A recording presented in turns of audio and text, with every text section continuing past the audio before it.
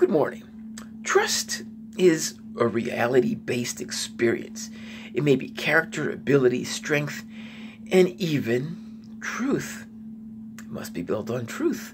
Blind trust is precarious. To see and examine thoroughly is an excellent means to test and build trust. And trustworthiness, well, intuition is really a, a buildup of information that has been stored up.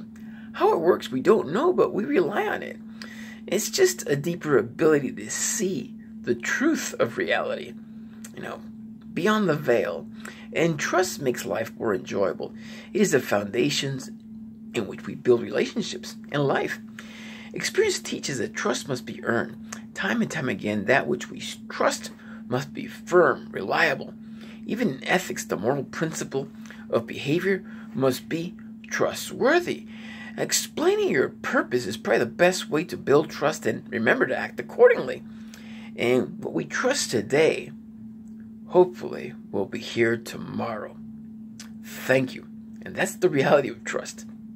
Enjoy a great day and please subscribe to my YouTube channel today. Have a good one.